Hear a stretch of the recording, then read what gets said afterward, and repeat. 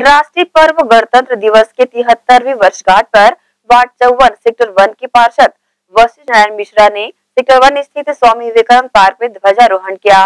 ध्वजारोहण के पश्चात पार्षद वशिष्ठ नारायण मिश्रा ने उपस्थित जनों को तिहत्तरवे गणतंत्र दिवस की बधाई एवं शुभकामनाएँ दी। इस अवसर पर वरिष्ठ नागरिकों सहित दिव्यांग जनों का सम्मान समारोह का आयोजन कर उन्हें सम्मानित किया गया। दिव्यांगों ने इस अवसर पर अपनी प्रतिक्रिया दी।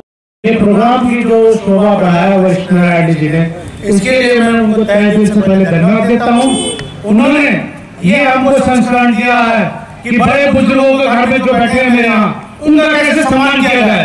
उनको हमेशा आदर दिया जाए और उनको उनके लेवल पर हमेशा रखा जाए, ताकि उनका आशीर्वाद हम तक पहुँच पाए। उसके लिए ये संस्करण हमको दिया है, ताकि हम आने वाले बच्चे और जो आने वाली तिहत्तरवें गणतंत्र दिवस की समस्त भिलाई वासियों को मैं अपनी तरफ़ से बधाई देता हूँ। साथ ही इस बात की कामना करता हूँ कि ये गणतंत्र दिवस हमको आशीर्वाद प्रदान करेगा और हम लोग जिस तरीके से काम कर रहे हैं, उसमें गति प्रदान करें। शहरवासियों को संदेश मात्र इतना कि हमारा देश लोकतंत्र के मामले में बहुत बड़ा देश है और लोकतंत्र कायम रहे, इसके लिए सभी को प्रयास करना चाहिए। आज हम देश में पचहत्तरवीं वर्षगांठ बना रहे हैं आज़ादी की तो हमने तय किया कि पचहत्तर वर्ष से ऊपर जो लोग हमारे यहाँ नागरिक रह रहे हैं, उनका सम्मान करेंगे। इसी के लिए एक आयोजन गणतंत्र दिवस के अवसर पर आज यहाँ किया गया। लोगों का आप देख ही रहे हैं, सारे लोग बड़े हर्षोल्लास से इस कार्यक्रम में शामिल हुए हैं और सभी लोग